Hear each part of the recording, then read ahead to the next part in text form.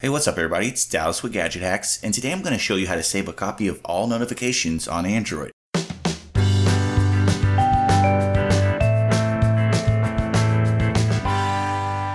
Now Android does have a little settings shortcut that lets you view recently posted notifications, but it doesn't keep them for very long, and there's not much detail for each notification.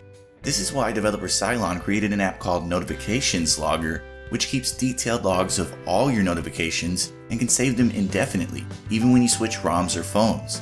To get this one going, you don't need to be rooted. You just need to have unknown sources enabled in your phone's settings under security so that you can sideload the app.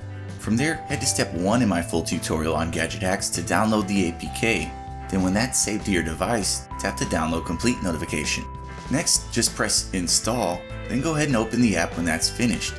And when you first launch Notifications Logger, you'll be asked to enable an additional permission for the app. This will be a little different depending on your Android version. So on 4.2 or lower, it'll use an accessibility service, but on 4.3 or higher, it'll just ask for notification access.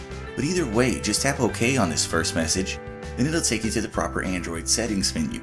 From here, select the accessibility option on 4.2 or lower, or choose the notification access option on newer Android versions. After that, it should be about the same regardless of your Android version, so simply enable the notification logger option, then press allow on the pop-up.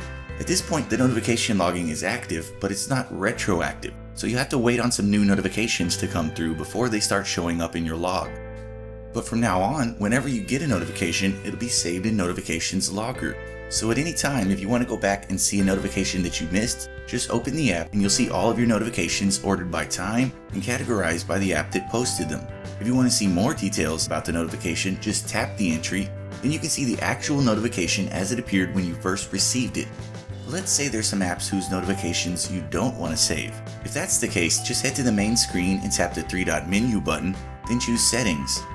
From here, go to log notifications, then select the apps entry this will let you add certain apps to your blacklist so that they won't show up in your notification log, and that's as easy as selecting any apps and pressing OK. Then finally, you can even export your notification logs to a file, which can then be imported onto a different device or ROM.